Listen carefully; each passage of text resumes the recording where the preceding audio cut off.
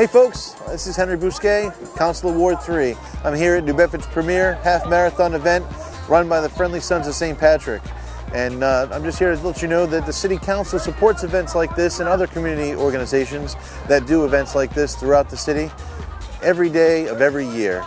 Uh, it's one of the most proud moments for New Bedford to have events like the uh, New Bedford Half Marathon and the Madeira Feast and the Whaling City Festival and the Working Waterfront Festival, the Cape Verdean Day Parade. All of these things are, are what make New Bedford culturally enriched and just such a wonderful place to live.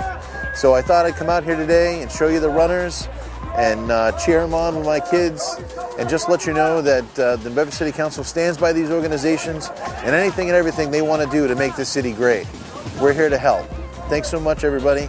And remember to check out my website at henry, uh, henrybousquet.com or email me at henry at henrybousquet.com. And uh, check out me on Facebook too, okay, guys? Thanks so much and have a great day.